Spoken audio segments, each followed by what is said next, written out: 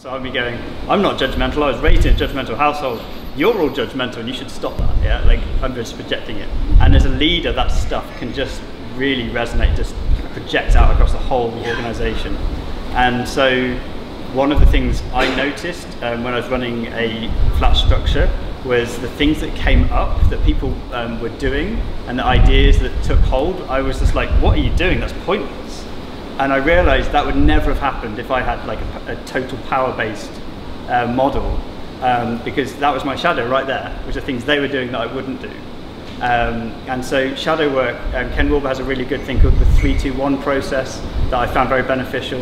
And there's, there's lots of resources on it. You can do group games on your collective shadow and you have things like golden shadow. It's a really beautiful sort of process. It can be quite edgy at times as well. That's the thing, I, I did a lot of that work.